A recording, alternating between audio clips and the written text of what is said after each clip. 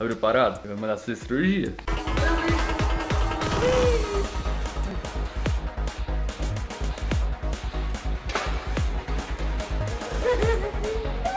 Não faz isso em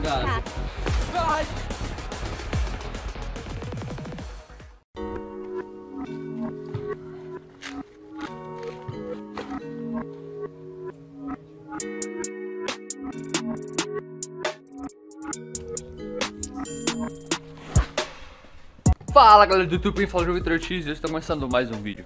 E bom gente, hoje eu queria fazer uma entrada diferente pra vocês, uma introdução diferente aqui pro canal Mas infelizmente não vai ter jeito, porque sabe o que eu descobri?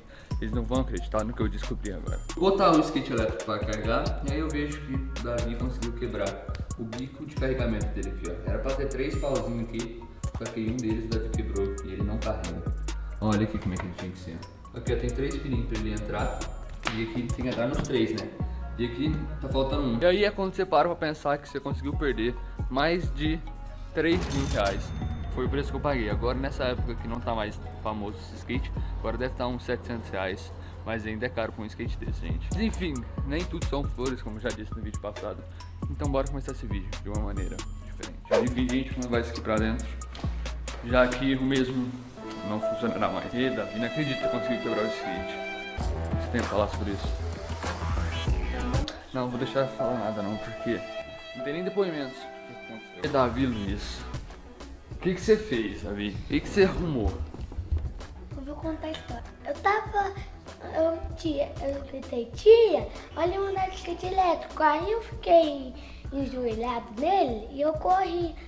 Aí do nada ele desligou e eu fui pra frente. E depois eu fui pôr bateria nele e o pino tava entortado. E depois eu mexi mais na bateria. E a gente, fazer o que, né? O que, que eu posso fazer? Já tá quebrado mesmo, não adianta eu dar na coisa. E tem que ver se eu vendo isso agora, se eu arrumar, passo, né, mando arrumar. Vamos ver o que dá pra fazer com isso, porque deixar um skate desse guardado sem usar é difícil. Gente, olha o tanto que frango engraçado. Aquela hora lá tava 29 graus e agora tá começando a chover, olha isso.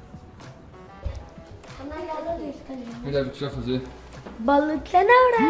Isso aqui é farinha? Sabe que bagunça. É, né?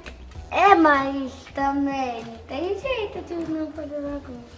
Isso aqui é farinha, não é? Tem de açúcar. É dois copos cheios. Dois copos cheios de açúcar? É isso mesmo? É. Muito açúcar.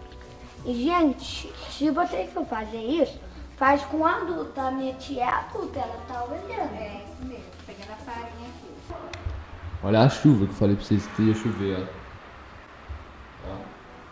Olha lá, o céu tá azulzinho dali. E tá chovendo bem forte aqui, ó. Porque na minha casa tem um problema que quando chove entra água em tudo. Deixa eu mostrar pra vocês. Gente, aqui costuma entrar água. Entra água tudo aqui, ó. Nesse lugar que vem água pra cá e escorre. E essa parede aqui entra muita água também. Aqui na Zoe fica encharcado de água aqui assim, ó. E o meu irmão ainda deixou aberto, vou fechar ele pra Zoe. E aqui no teto também costuma entrar água também, ó. Gente, o médico chegou que vai olhar o dedo do Davi. Quem não sabe, ele machucou o dedo, acho que ele quebrou o dedo. E o médico veio aqui na minha casa pra ver o que aconteceu com o dedo dele, né, Davi? Tá preparado? Ele vai mandar fazer cirurgia? É uma brincadeira. Vou filmar pra você, gente. Então já deixa o like aí se você já tá gostando desse vídeo. Gente, o médico acabou de sair daqui, ele acabou de receitar o Davi, medicou ele. Ele, antes de ontem, ele pressionou o dedo no, entre a cama e a parede, não sei como é que ele conseguiu fazer isso, mas foi isso aí. E ele medicou, falou que vai ter que fazer um raio-x pra ver o que tá por dentro, mas visualmente não quebrou nada, não aconteceu nada, só uma luxação mesmo. Mas aí ele colocou uma talinha de fita, só pra deixar até a gente fazer uma radiografia nele, mas acho que não vai ser nada, né, Davi? Mostra sua tala aqui pra galera. Não é dar, é esparadar.